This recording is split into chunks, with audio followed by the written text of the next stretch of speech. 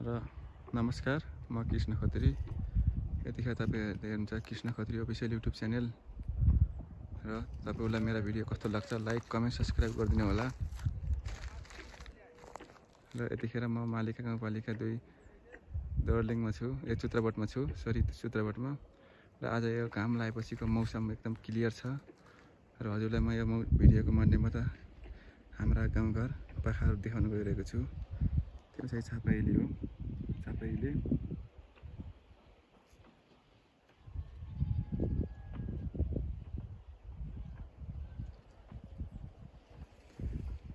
तपाईँले त्यो चाहिँ नेता पढ्यो। नेता। यो चाहिँ चिलमिला। चिलमिला।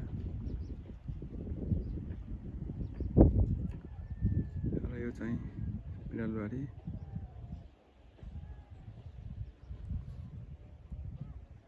यो चाहिँ हाम्रो खेतबारी हो मेरो यतिखेर खेत खेतमा खेतबारी खानाको रूपमा उब्जाउने गर्छ खेतबारी मकै कोदोहरू इत्यादि उत्पादन हुन्छ हजुरहरूले मेरो हरेक भिडियोहरू कस्तो लाग्छ कृपया लाइक कमेन्ट सब्सक्राइब गरिदिनु होला कृष्ण खत्री युट्युब च्यानललाई यो मेरो घर हो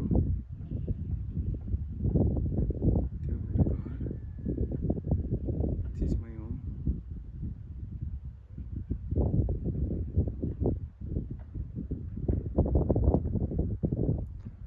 यो मेरो घर हो यिनी खेतबारी हुन्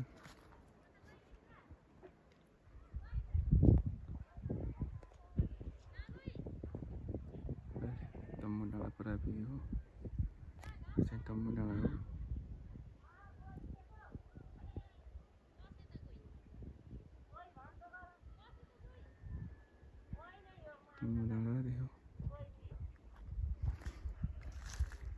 यो चाहिँ हाम्रो खेतबारी हो सर र हजुर देख्न सक्नुहुन्छ मेरा भिडियोहरू हेरेर होला कस्तो लाग्छ लाइक कमेन्ट सेयर सब्सक्राइब गरिदिनु होला कृष्ण खत्री यहाँ चाहिँ सूर्य सन्फलाई लाइक कमेन्ट सेयर सब्सक्राइब गर्न नभुल्नु होला च्यानललाई